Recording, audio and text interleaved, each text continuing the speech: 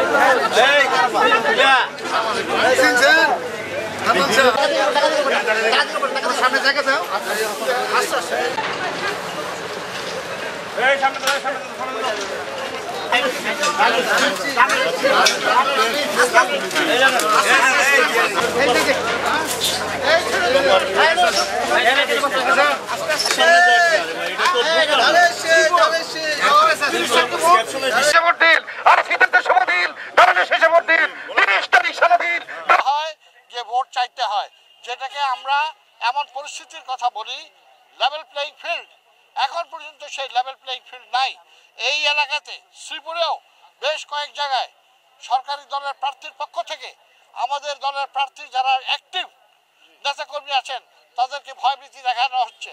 এমনকি প্রশাসনের কেউ কেউ আমাদের শীর্ষস্থানীয় নেতাদের এখানে ভয়ভীতি দেখাচ্ছেন। সুতরাং এখন পর্যন্ত যে কাঙ্ক্ষিত পরিবেশ সবাই মিলে যার ভোট সে দেবে, যাকে খুশি তাকে দেবে, সেটা এখনও তৈরি হয় নাই।